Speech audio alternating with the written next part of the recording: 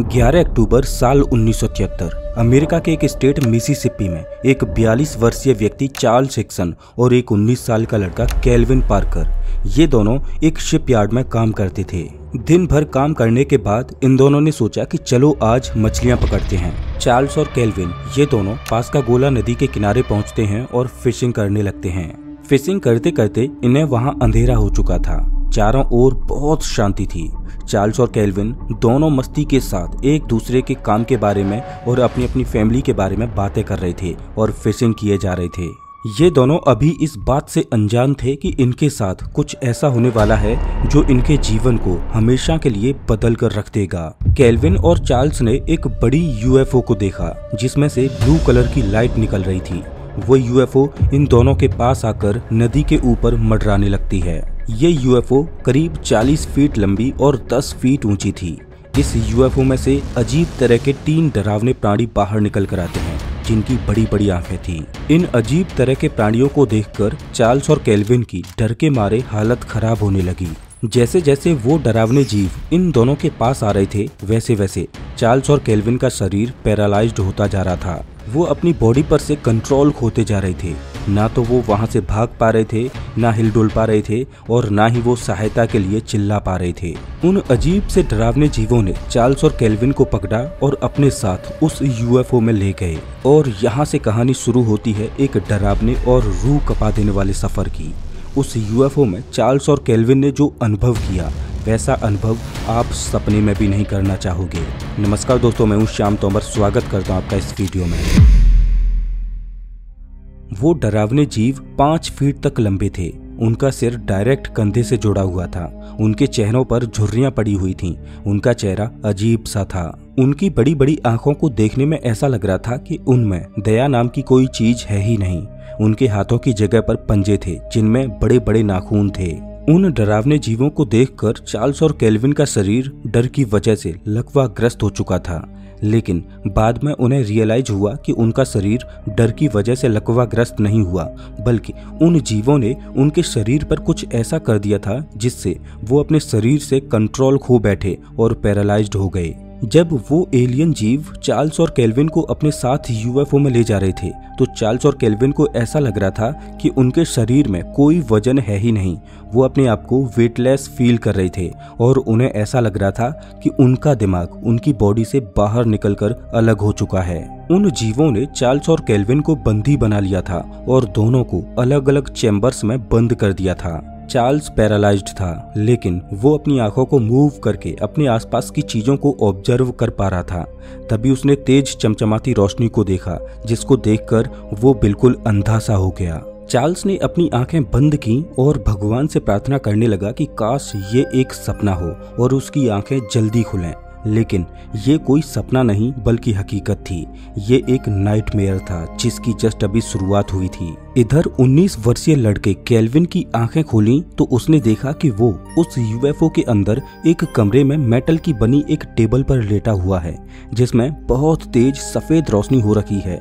ऐसा लग रहा था कि वो तेज रोशनी कमरे की दीवारों से निकलकर आ रही है। उस तेज रोशनी में जैसे ही केल्विन की आँखों ने देखना एडजस्ट किया तो उसने देखा कि वो उस कमरे में अकेला नहीं है, बल्कि उसके सामने एक फीमेल एलियन खड़ी हुई है और वो उन दूसरे एलियन जीवों से थोड़ी अलग है। वो देखने में थोड़ी इंसानों की तरह लग रही थी, जिसकी बड़ी बड़ी आँखें थीं। वो टेलीपैथी के द्वारा बात कर सकते थे और उसने केल्विन से टेलीपैथी के द्वारा कहा कि वो सुरक्षित है। लेकिन केल्विन को बहुत ज़्यादा डर लग रहा था। तो उस फीमेल एलियन ने केल्विन से कहा कि डरो मत, मैं तुम्हें कोई नुकसान नहीं पहुँचाने वाली। उस फीमेल एलियन ने केल्विन के मुँह को खोला और अपने बड़े बड़े नाखूनों वाली उंगली उसके मुँह में घुसाई और उस उंगली को उसके गले से होते हुए उसे मोड़कर उसकी नाक तक पहुँचाया। केल्विन को बहुत दर्द हो रहा था, वो ज़ोर ज़ोर से चिल्ला रहा था। फिर उस फीमेल एलियन ने कहा कि डरो मत और उसने उसकी नाक से कुछ चीज़ बाहर निकाली। उधर दूसरे कमरे में वो एलियन जीव चार्ल सेक्शन के ऊपर भी कुछ इसी तरह का एक्सपेरिमेंट कर रहे थे। तीन एलियन जीव उसके पास खड़े थे, जो अपने नाखूनों वाले पंजों से उसकी बॉडी को एग्जामिन कर रहे थे। वो जीव आपस में टेलीपैथी के द्वारा बात तो कर रहे थे, लेकिन वो चार्ल्स को कोई सांत्वना नहीं दे रहे थे। वो उसके दिमाग की जाँच कर रहे थे, उसके साथ चीड़ फाड़ कर रहे थे। वो उन्हें ऐसा करने से रोकना चाहता था, लेकिन वो पैरालाइज्ड था तो वो कुछ भी नहीं कर सकता था। फिर उसने देखा कि एक मेटल का फुटबॉल साइज़ ऑब्जेक्ट उसके ऊपर आ चुका है, जो कि उसके शरीर को ऊपर से नीचे तक स्कैन कर रहा है। केल्विन और चार्ल्स देख पा रहे थे कि जिस क्राफ्ट में वो मौजूद हैं, वो अपने आप में एक ज़िंदा चीज़ की तरह है, जो एक ऐसी मशीन है, जो उनके शरीर को कंट्रोल किए हुए है। इधर कैलविन एक फीमेल एलियन के द्वारा एग्जामिन किया जा रहा था, तभी उसे ऐसा लगने लगा कि अब वो मरने वाला है। उसकी चेतना जाने लगी और उसके दिमाग में अलग अलग तस्वीरें फ्लैश होने लगी और उन तस्वीरों में वो हज़ारों लोगों के डरे हुए चेहरों को देख रहा था और जो आखिरी तस्वीर उसके दिमाग में फ्लैश हुई, वो थी उस एलियन की बड़ी बड़ी आँखें, जो कि कैलविन से कुछ ज़रूरी बात कहना चाहती थी। लेकिन कैलविन कुछ भी समझ नहीं पा रहा था और तभी चारों ओर अंधेरा छा जाता है। चार्ल्स और कैलविन की आँखें खुलती हैं। वो दोनों अपने आप को उसी नदी के किनारे पर अजीबोगरीब हालत में पाते हैं। वो यूएफओ जा चुका था। उन्हें लगा कि उस यूएफओ में उन्हें कई घंटे गुजर चुके हैं, लेकिन अभी तक महज 20 मिनट का ही समय गुजरा था। चार्ल्स और केल्विन ने इस घटना के बारे में तुरंत एयरफोर्स को बताया। एयरफोर्स ने उन्हें बोला कि उन्हें पुलिस में इस घटना की रिपोर्ट दर्ज करानी चाहिए। एयरफोर्स इस तरह के केसेज को हैंडल नहीं करती। चार्ल्स और केल्विन तुरंत पुलिस स्टेशन में जाकर अधिकारियों को इस घटना के बारे में सब कुछ बताते हैं। पुलिस ऑफिसर्स को चार्ल्स और केल्विन की ये बातें अजीब लग रही थीं, लेकिन उनकी आवाज़ में जो डर था वो उन पुलिस अधिकारियों को जेनविन लग रहा था। तो पुलिस ने केल्विन और चार्ल्स को टेस्ट करने की सोची कि कहीं ये झूठ तो नहीं बोल रहे। पुलिस ने केल्विन और चार्ल्स को उस रूम में अकेला छोड़ दिया। पुलिस ये देखना चाहती थी कि अकेले में ये दोनों किस तरह से बात करते हैं। चार्ल्स और केल्विन इस बात से अनजान थे कि उनकी बातें रिकॉर्ड की जा रही हैं और उन पर नज़र रखी जा रही है। जब उनकी आपसी बातचीत की रिकॉर्डिंग पुलिस ने सुनी तो उन्हें पता चला कि वो सच बोल रहे थे। सच में, उनके साथ एक ऐसी डरावनी घटना घटी थी, जिसने उन्हें अंदर तक झकझोर दिया था। पुलिस ने इस घटना की छानबीन की तो कई लोगों ने उन्हें बताया कि पासका गोला नदी पर रात में कुछ अजीब सी घटना घटी थी। उन्होंने नदी के ऊपर अजीब तरह की लाइटें चलते हुए देखी। कई लोगों ने बताया कि उन्होंने एक बड़ा सा क्राफ्ट नदी के ऊपर उड़ते हुए देखा, जिसमें से ब्लू लाइट निकल रही थी। देखते ही देखते ये घटना वायरल हो गई और सुर्खियों में आ गई। मीडिया और यूएफोलॉजिस्ट वहाँ आकर उस जगह का जायजा लेने लगे। चार्ल्स और कैलविन लोगों के बीच फ़ेमस हो गए। वो सच बोल रहे थे या झूठ बोल रहे थे इसके बारे में पता लगाने के लिए चार्ल्स और केल्विन का कई बार लाई डिटेक्टर टेस्ट किया गया और उन्होंने हर एक लाई डिटेक्टर टेस्ट को पास कर लिया। चार्ल्स और केल्विन लोगों को बताते कि कैसे एलियंस ने उनका अपहरण किया था। दोस्तों पास्का गोला इवेंट एलियन एबडक्शन की कोई इकलौती घटना नहीं थी। इससे पहले भी एलियंस द्वारा अपहरण की कई घटनाएँ सामने आई थीं, जिनमें लोगों ने दावा किया था कि एलियंस ने उनका अपहरण किया था। ऐसा ही एक फ़ेमस केस साल 1961 में हुआ था जिसमें बेटी और बार्नी हिल ने दावा किया था कि छोटे कद के जीव जो ग्रे कलर के थे और उनकी आँखें बड़ी थीं, वो एलियन जीव उनका अपहरण करके उन्हें एक बड़ी सी स्पेसशिप में ले गए जहाँ पर एलियंस ने उनके ऊपर परीक्षण किया। साल 1975 में ऐसी ही एक घटना ट्रेविस वोल्टन के साथ घटी। ट्रेविस वोल्टन ने बताया कि वो अपने दोस्तों के साथ जंगल में घूमने गया था। वहाँ पर एलियंस ने उसका अपहरण किया और वो पाँच दिनों तक गायब रहा था।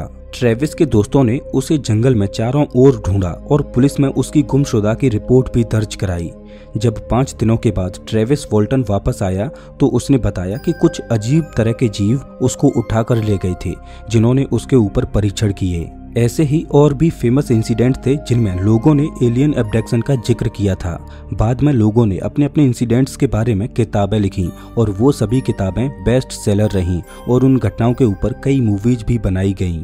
हर एक घटना में लोगों ने लगभग एक जैसी चीज़ों का ज़िक्र किया, जैसे कि अपहरण के दौरान उनकी बॉडी का पैरालाइज्ड हो जाना, छोटी हाइट वाले और बड़ी बड़ी आँखों वाले जीवों द्वारा उनका अपहरण करना और एलियंस के द्वारा उनकी बॉडी पर परीक्षण करना।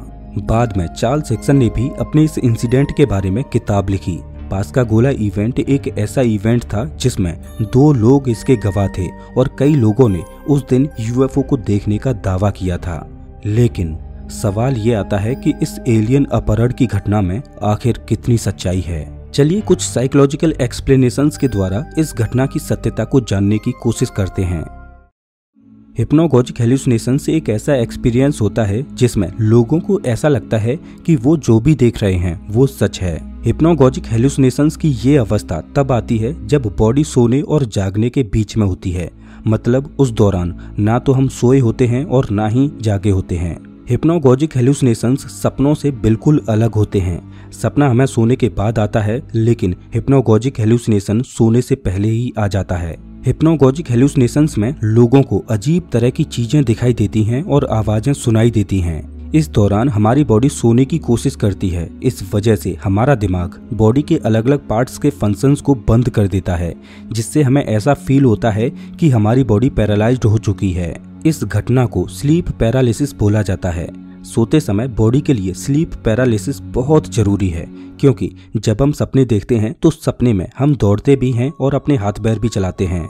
अब सपनों के दौरान हम सच में ही कोई मूवमेंट ना करने लगें और अपने शरीर को चोट पहुँचा लें। इस वजह से हमारा दिमाग पहले ही बॉडी के अलग अलग पार्ट्स के फ़ंक्शंस को बंद कर देता है।